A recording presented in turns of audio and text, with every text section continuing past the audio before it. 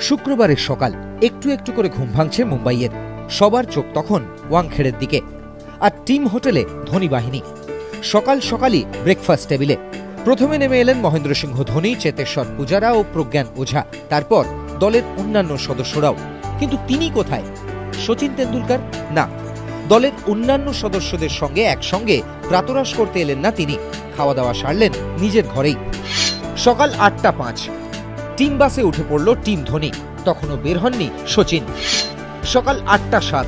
Hotel থেকে বেরিয়ে team বাসে উঠলেন সচিন, কানে তখনও হেডফোন। প্রথম দিন অপরাজিত আটত্রিশ করে ক্রিজে ছিলেন। হোটেল সূত্রে খবর, গণপতির পাশেই নিজের ব্যাটটি রেখেছিলেন সচিন।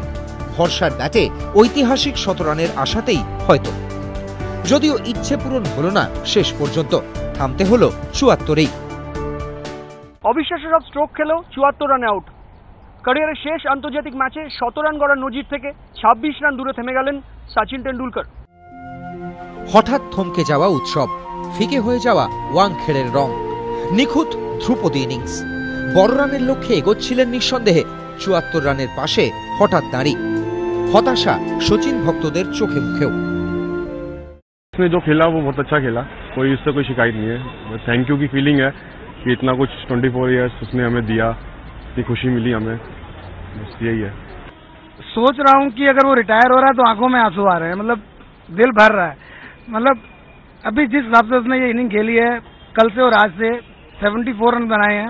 वो रन ऐसे हैं जो एक मतलब बहुत ही बहुत ही बढ़िया एक बैट्समैनशिप जिसे मैं कहूँगा। Going back because Sachin is out अभी कुछ काम नहीं है हमारा मैच में।